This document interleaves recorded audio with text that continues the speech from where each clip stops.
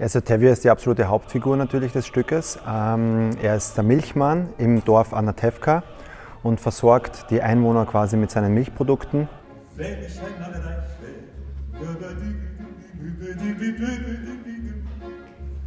Alle Tage Mann.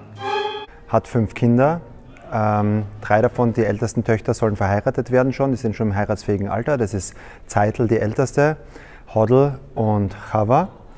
Und natürlich sein Goldschatz, die Golde. Ähm, seine Frau, die schaut, dass zu Hause alles am rechten Platz ist.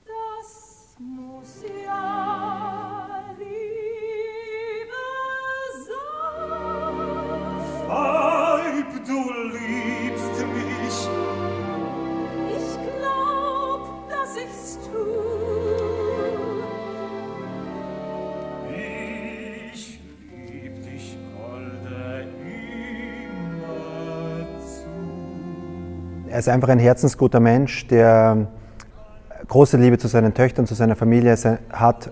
Seine Familie steht für ihn absolut im Zentrum und er versucht eben diese Vereinbarkeit von Familie und jüdischer Tradition für sich zu bewahren.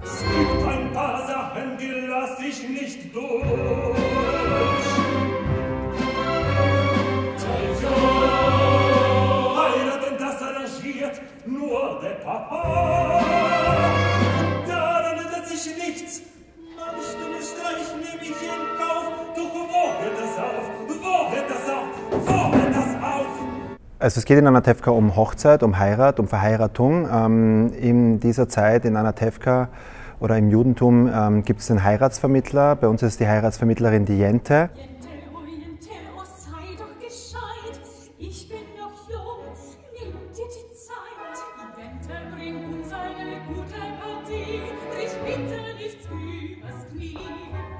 Zeitl ist schon die älteste und so wie Hoddle so schön sagt, erst wenn sie unter der Haube ist, dann kommt die Hoddle dran. Das heißt, ähm, erster Fokus liegt mal auf der Hochzeit von Zeitl.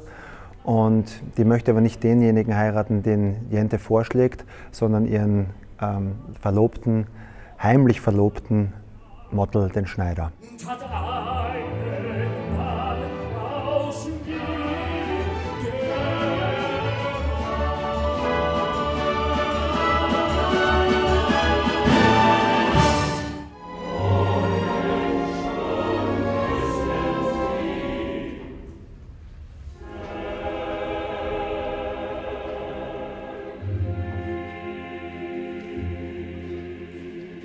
Astetel ist ähm, ähnlich vielleicht einem jüdischen Ghetto, wie man es später kennt aus Polen, aber es ist eigentlich ein, ein Dorf, wo allerdings aber auch ganz arme Russen lebten und sie lebten quasi nebeneinander in diesen kleinen Dörfern.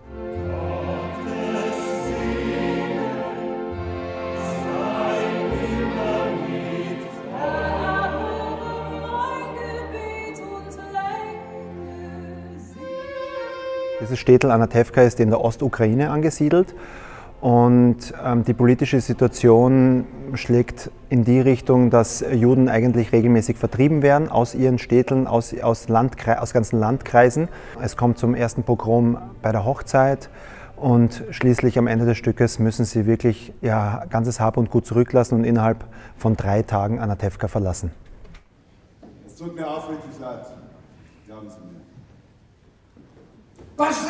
Wir haben uns dann gedacht, einfach ein Städtel auf die Bühne zu stellen, wäre uns zu plakativ und haben dann ein Symbol für dieses Vertriebensein, Vertriebenwerden, für diese Reise, für diesen Exodus, der die, das Judentum seit Anbeginn begleitet, ähm, waren wir auf der Suche danach und haben den Koffer als Schlüssel gefunden für uns.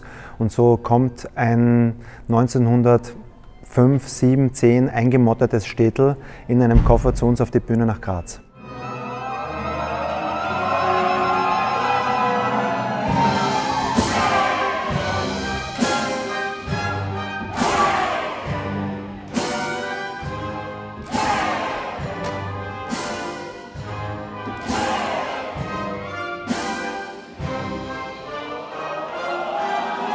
Es wird ein quicklebendiger Abend. Es ist ähm, ein bunter Abend aus der Zeit. Wir erzählen die Geschichte mit sehr viel Liebe zum Detail und es ist ein Riesengemälde, ein Riesenwimmelbild und die ganzen Figuren, es gibt überall etwas zu entdecken. Die ganzen Figuren werden dieses Städtel hier in Graz zum Leben erwecken.